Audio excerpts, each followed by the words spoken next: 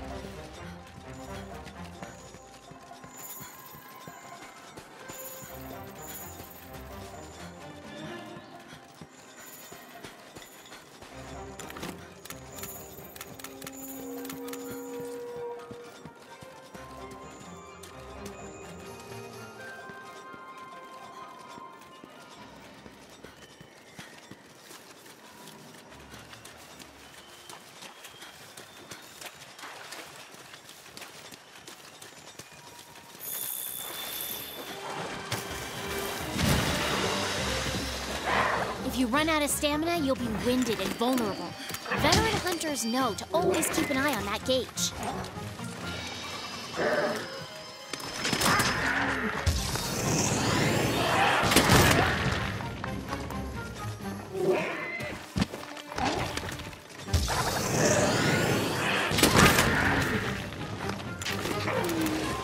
How goes the exploring? Try to piece together the monster's trail, then let the scout fly show you the way.